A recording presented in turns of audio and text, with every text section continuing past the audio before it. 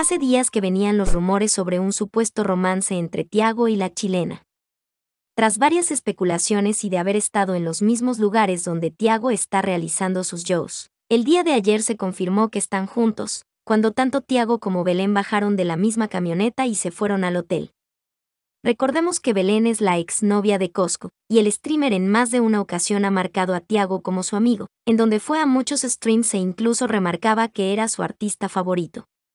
Tras confirmarse este rumor, Coscu dejó de seguir tanto a Tiago PZK como a la chilena, de sus redes sociales, y además publicó la siguiente historia en su Instagram. Pase lo que pase, nunca pierdan los códigos y la humildad. Llega lejos el que mantiene los pies en la tierra siempre.